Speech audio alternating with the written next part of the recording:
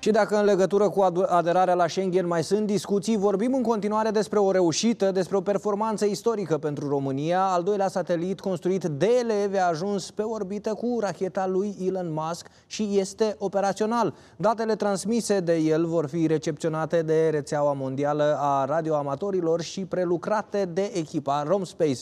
Rom 3 are misiuni de observare a Pământului, măsurare a parametrilor proprii, măsurare a magnetismului terestru și a nivelului de radiații cosmice care lovesc atmosfera.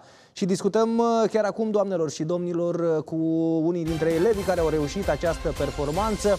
Filip uh, Bușcu este alături de noi. Filip, bună seara și îți mulțumim foarte mult pentru intervenție. Bună seara, vă mulțumesc și eu pentru invitație. Înainte de toate, aș vrea să-i uh, nominalizez și pe colegii tăi cu care ai lucrat și vorbim despre David uh, Ghiberdic, uh, Alex Unteșu, Alesia Unteșu și Alex Peticaru. Toți faceți parte din echipa Romspace. Spune-ne în primul rând cum ați reușit să ajungeți la această performanță, despre ce este vorba, ce face acest satelit? Uh, ultimul nostru satelit pe care l-am lansat recent, în urmă cu o lună, și anume ROM3, uh, a fost, uh, are ca scop principal uh, observarea Pământului, având la bord o cameră de 5 megapixeli.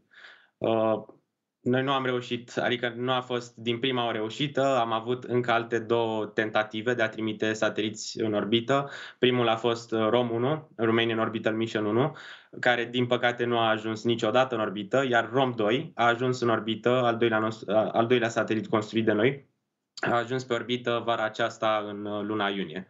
Uh, ROM-2 a fost funcțional, a transmis telemetrie înapoi către noi cu privire la Uh, adică senzorii de la bord au trimis înapoi date către noi, uh, iar uh, ROM 3 abia a fost lansat și așteptăm săptămânile care urmează să se stabilizeze și să obținem primele fotografii. Sunteți cu toții foarte pasionați, foarte motivați și iată că, iată că rezultatele se văd.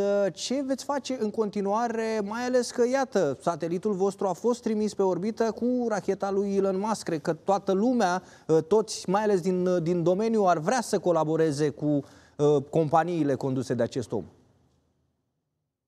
Uh, sateliții noștri sunt niște mici laboratoare pe care noi le trimitem în spațiu și au uh, scopul de a, de a testa anumite sisteme pe care noi plănuim să le folosim în viitor pe uh, sateliți mult mai avansați care vor alcătui la un moment dat o constelație de observare a Pământului, sateliți ce vor capta imagini de o rezoluție destul de înaltă. Da, vă ținem pumnii și noi în